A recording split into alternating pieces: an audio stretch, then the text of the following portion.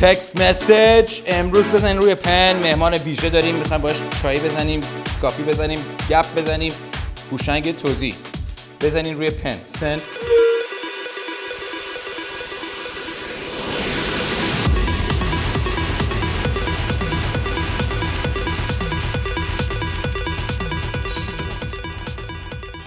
بینندگان عزیز. بله با عرض سلام. این من عاشق میوایم که هنوز طبیعی باقی مونده. یعنی یه چیز طبیعی بهشه.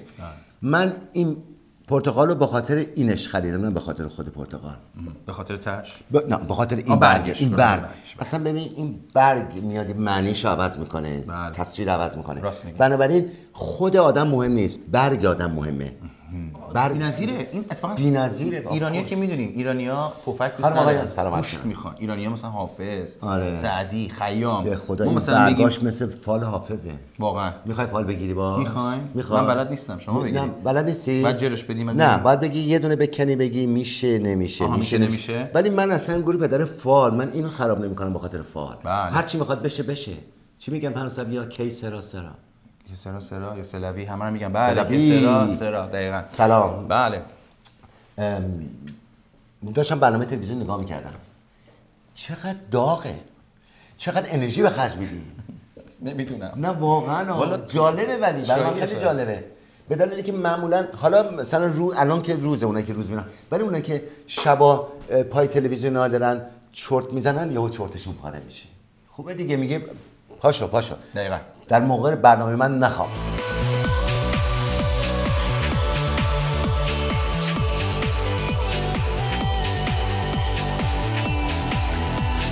بله بله. با عرض سلام مجدد به بینندگان عزیز و خوش آمد به هنرمند تهیه کننده هنرپیشه کارگردان وطن پرست مهره مثبت جامعه ایرانی. هوشنگ توزیع گل مردی بسیار خوشتیپ خوشدل با استعداد برازنده. هولدن هولدن هولدن سلام عرض می‌کنم. کسر جون سلام عرض می‌کنم. مرسی که اجازه دیدی من از اینجا رد می‌شدم بیام تو برنامه و ببخشید که عینک زدم برای ما همیشه شما رو میاریم توی شما. لطف دارین. شما خیلی لطف دارین. شما اگر اگر به این آرتیست توجه نشه دق می‌کنن میمیرن. ولی من الان چرا عینک زدم به چرا زدی قربان؟ عینک زدم که بهشون بر نمی‌خوره چرا؟ خیلی بده. اینقدر بدشون میاد ایرانی‌ها یک هنرمند معروفی عینک می‌زنه. بعد من با خودم گفتم من عینک می‌زنم که کسی منو نشناسه. بعد میگم که ما هنرپیشا یک عمر زحمت کشیدیم با چنگ و دندون که شناخته بشیم دقیقاً. معروف بشیم مردم ما رو بشناسن. همچنین که معروف میشیم عینک می‌زنیم ما رو نشناسن. یعنی چی؟ That's weird. That's weird. Strange. درود بر شما. درود بر شما. درود بر شما راست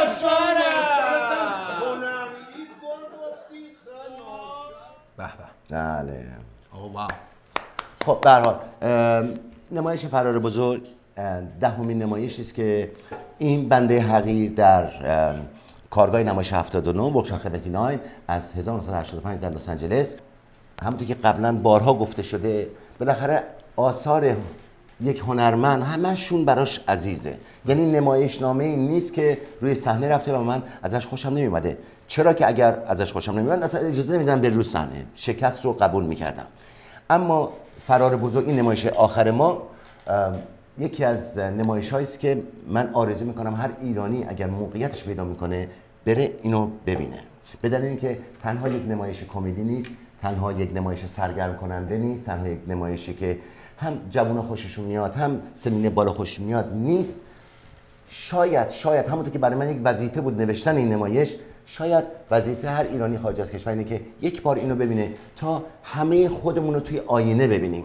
خودمون رو داریم می‌بینیم. دونه دونه افراد این جامعه از قشرهای مختلف و؟ اه، این آدمای خوشجوش یا خودجوش که گفتین خودشون خودشون رو موتیویت می‌کنن بله. بعد بعضی‌ها منتظرن می‌دونین که این کتابای علمی رو خوندین دیگه همش تو فردان چون میگن این یارو سایکولوژیست میگه تو ایگوشی مثلا با ما داره صحبت می‌کنه منتظره که ببینه اون 5 دقیقه دیگه چی میاد فردا بهتر میشه همه چی نمی‌دونه که همین لحظه است که بهتره همین لحظه است. به. خصوص خیلی قشنگ گفتی کسر جان به خصوص در یک جامعه هم هنرمندان موظفن مسئولیت دارن که آثار مردمی آثار همه جانبه آثار گروهی به وجود آثاری بیاره به وجود بیارن که خب از نظر من زیاد شخصی نباشه آثاری که خیلی هم شخصیه اونا هم برای خودشون با ارزشن اه، هنری هن. اما خب من معتقد به هنر برای مردم هستم بنابراین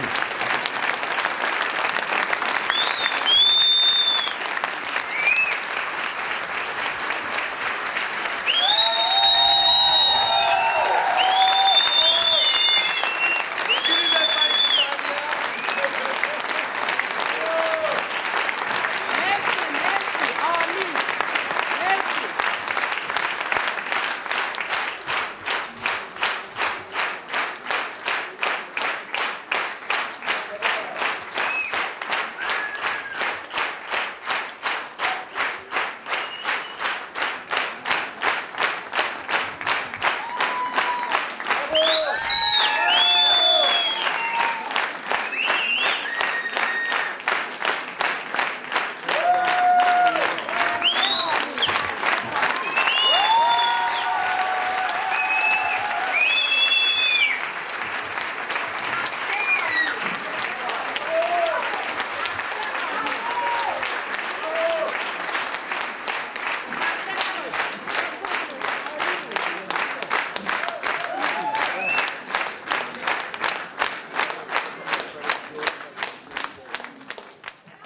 بله We're back. We're back to attack. شرمنده، شرمنده. گل. ماشاءالله ماشاءالله ماشاءالله ماشاءالله ماشاءالله.